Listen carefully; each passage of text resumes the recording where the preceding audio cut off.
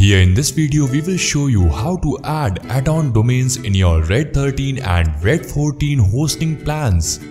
For that, first of all go to redserverhost.com and then go to Linux web hosting page. Now from here you will find Red 13 hosting package and Red 14 hosting. In case of Red 13, you will find that 5 websites can be hosted which means 4 add-on domains are allowed. Add-on domains are nothing but the additional domains that you can host. In the same way, under Red 14 hosting, you can host unlimited websites which means unlimited add-on domains. Now, in order to add your add-on domain, first of all, go to your cPanel and then click over add-on domain. Now from here, you can enter your additional domain name which you would like to host.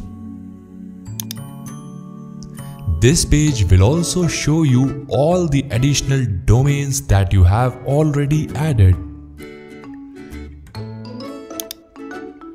Click over subdomain and let it autofill other information and then finally click over add domain. In this way, your add-on domain is now successfully added. You can also check your add-on domain from here. This is the path where you can keep your files to host websites under this add-on domain.